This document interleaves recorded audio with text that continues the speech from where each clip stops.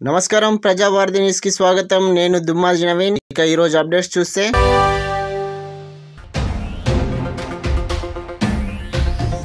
దేశంలో కరోనా వ్యాప్తి మొదలయ్యాక అత్యధిక కేసులు నమోదైన రాష్ట్రం మహారాష్ట్ర. మిగతా రాష్ట్రాలు కేంద్రపాలిత ప్రాంతాలతో పోల్చితే మహారాష్ట్రలో రెట్టింపు సంఖ్యలో పాజిటివ్ కేసులు వచ్చాయి. ఇప్పుడు సెకండ్ వేవ్లోనూ మహారాష్ట్ర కొత్త కేసుల తాకిడితో విలవిల్లాడుతుంది. నిన్న ఒక్కరోజే యాభై ఒక్క వెయ్యి ఏడు వందల యాభై ఒకటి పాజిటివ్ కేసులు వెల్లడయ్యాయి.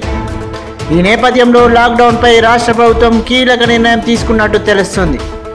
రేపటి నుంచి ఈ నెల ముప్పై వరకు మహారాష్ట్రలో లాక్డౌన్ విధించేందుకు సన్నద్ధమవుతున్నట్టు సమాచారం. దీనిపై సీఎం ఉద్ధవ్ థాకరే ఈ రాత్రికి ప్రకటన చేసే అవకాశం ఉంది.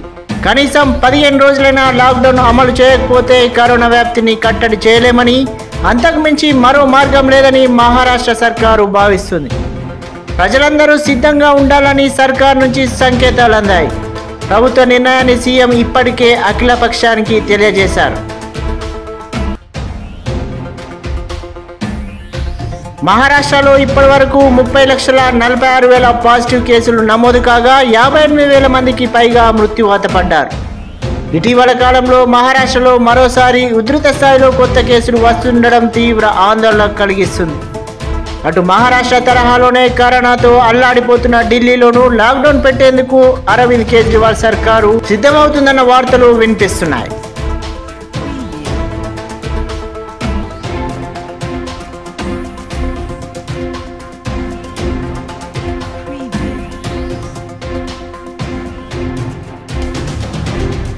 అప్డేట్స్ కోసం మా ఛానల్ని సబ్స్క్రైబ్ చేసుకోండి.